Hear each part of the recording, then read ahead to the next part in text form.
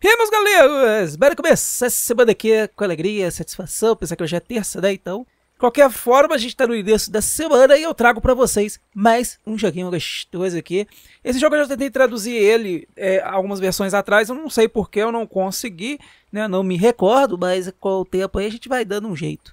O game da vez é Welcome to Heroes Land, versão 0.0.8, já tá traduzido em espanhol, em português brasileiro. Então já peço que você tire a mão da calça, deixa o like, se inscreva no canal, vem com Seisei.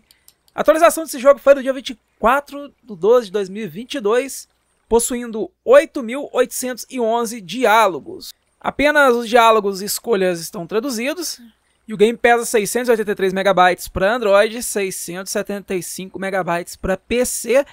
Caso você queira jogar no Joy Play, e recomenda muito.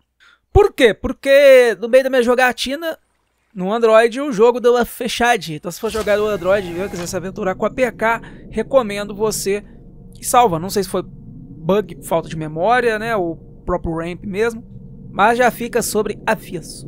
Nesse jogo você joga com um jovem de 20 anos que vive em um mundo futurista e trabalha em algo que não gosta.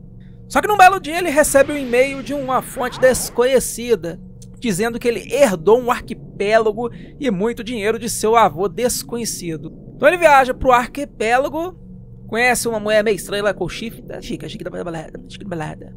E aí você vira dono do lugar né, e mestre. Legal, você tem que abrir o parque todo dia, fechar ele, né, comprar itens, principalmente roupas do, da, dos personagens que vão aparecendo ao longo do jogo, né? Essa Hannah que no início eu acho ela bem parecida com um personagem de Overwatch. E que talvez seja, né? Porque tem a Hannah do Overwatch. não sou muito. Quer dizer, eu nunca joguei o Overwatch, né? Até porque é copado. Não é copado, não. Jogava Light Bell. Na realidade, a, a paralela do Overwatch é Paladins. É, eu tentei traduzir um tempo atrás porque eu achei o jogo muito bem feito, as sprites são muito legais, essa questão de você personalizar os personagens é muito da hora. É um game que tem é, um gerenciamento, não é só ficar clicando, né? Tem um sistema de mapas, noite dia. É bem mais simples a quest, quando você vai falar com o personagem mostra que a, a, aquela opção X é a quest, né? Pra você não ficar tão perdido.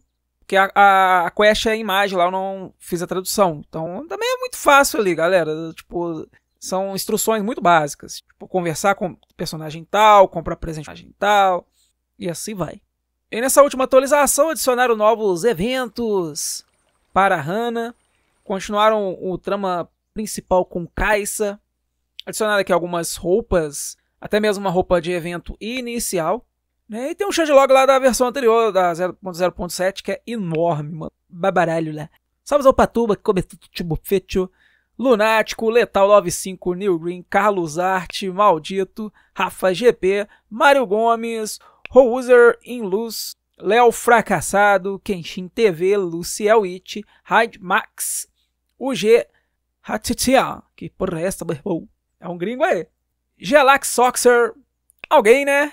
Diobrando, Gugus 27, Kioki, Douglas André e, salve também, pro Kaique Souza.